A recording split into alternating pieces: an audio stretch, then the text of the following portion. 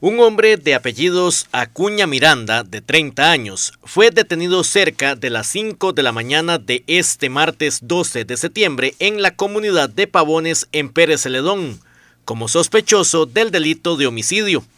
Según el OIJ a este nicaragüense, se le vincula con el caso que se presentó el domingo y que cobró la vida de Kenneth Chávez Gamboa, de 28 años, tras recibir un impacto de bala en el abdomen.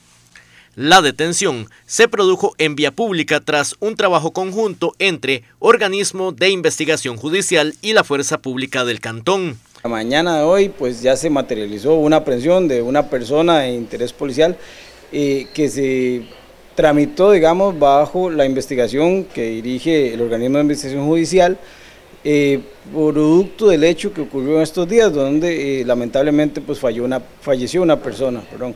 Eh, y pues se hizo un trabajo en conjunto, las unidades de fuerza pública, la unidad de inteligencia, OIJ, y logrando la aprehensión de un sujeto del cual pues eh, ya en instancias judiciales ¿verdad? se determinará el, el grado de participación en este evento.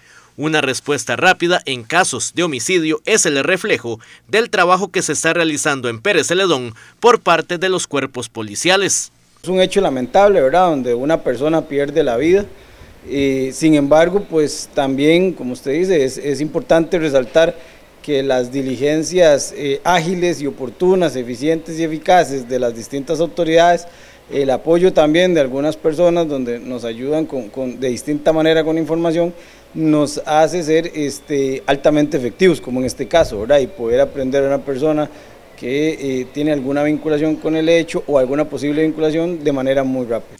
El detenido quedó a la orden del Ministerio Público para determinar la situación jurídica.